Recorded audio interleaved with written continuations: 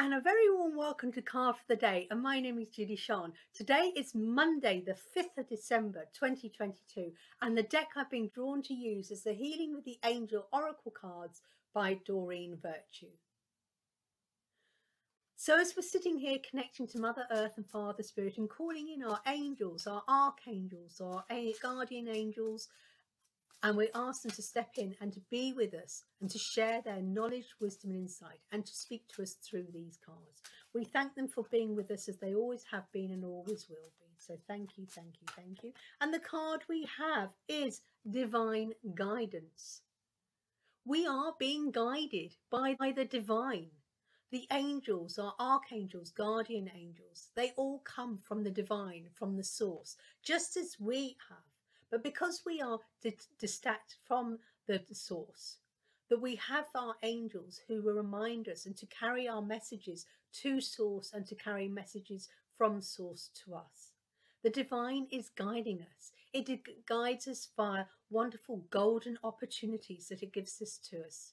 Opportunities of maybe job promotion, an opportunity of purchasing a new home, opportunities of meeting new people, opportunities of embracing new hobbies. The divine is always guiding us.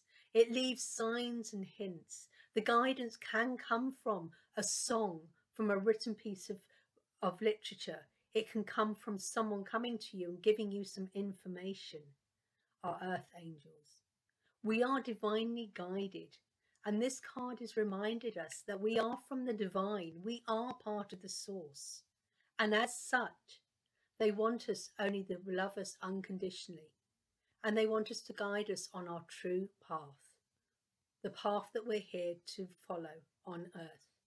The path of unconditional love. We're divinely guided day in, day out to lead a good life. A life full of joy, peace and blessings.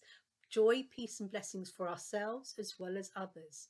And if you are guided to do anything to be like that, to be of service to people and of service to yourself, that is listening to the divine guidance. Your angels, spirits, and loved ones are here to show you the way.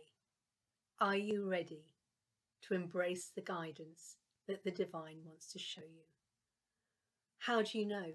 Take it to your heart. If it's right, it feels right. If it doesn't feel right, or it's a maybe, don't do it. Not yet. Divine guidance. It is not an ego saying, if you do this, this amazing thing will happen. That is not divine guidance. It's like, yeah, I want to do this. It feels right. That is when you take that divine guidance into your heart. I do hope you've enjoyed this reading and the message from the angels. If you have, don't forget to press like, share, press like, share and subscribe. If you're looking for guidance and would like to book your own full in-depth reading, contact me. How to contact me in the comments below. Have an amazing day, looking out for that guidance that the divine is showing you and acting upon it now. Take care. Namaste. Bye.